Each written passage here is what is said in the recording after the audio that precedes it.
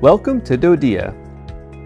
By now, you may have noticed that our face looks a little different than last year. We have restructured. So some of our districts have different names and new above school resources have come online, but our mission remains the same.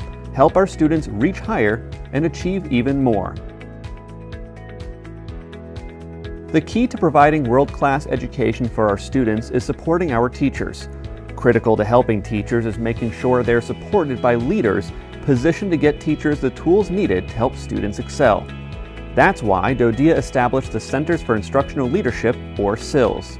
CILS are based regionally and under the oversight of a new Director for Student Excellence, they provide professional leadership development to instructional support specialists, or ISSs, and administrators. Superintendents and principals also can call on CILS specialists for assistance with data-based strategies to drive academic achievement and other educational needs.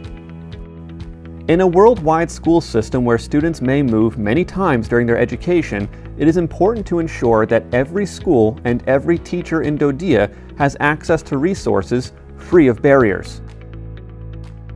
We are improving access to education resources like ISS support in content areas and specialty areas such as special education by pooling resources at district offices and placing specific resources in field offices closer to where they're most needed.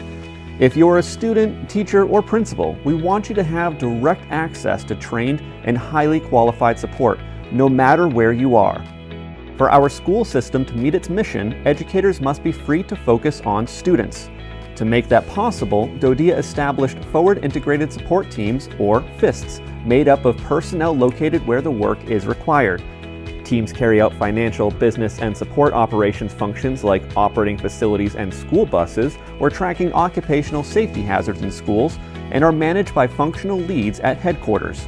This enables superintendents and principals to concentrate on doing what we need them to do best, supporting teachers and educating students.